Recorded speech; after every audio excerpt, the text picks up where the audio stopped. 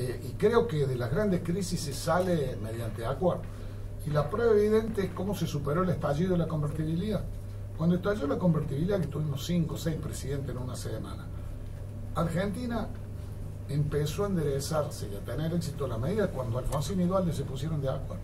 Ahí fue donde el país comenzó a resolver la crisis. ¿Por qué? Porque había el suficiente, suficiente apoyo, suficiente respaldo a las medidas que tomaba el gobierno del doctor.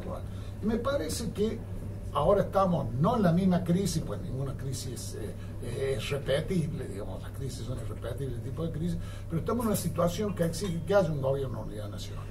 Eso es algo que seguramente hablaremos después de la primera vuelta, después del 22 de octubre. Hasta ahí todos competimos para, como candidato a presidente o candidato a vicepresidente.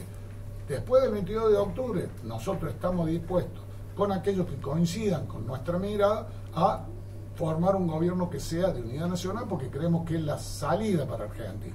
¿Quién va a ser el candidato de de las otras fuerzas no lo definimos nosotros, lo define la gente con su voto en las pasos.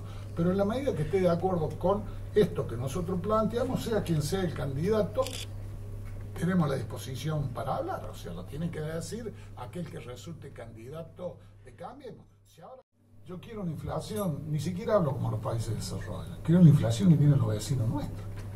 Uruguay, Brasil, Chile, Bolivia, Paraguay tienen una inflación menor al 10% anual.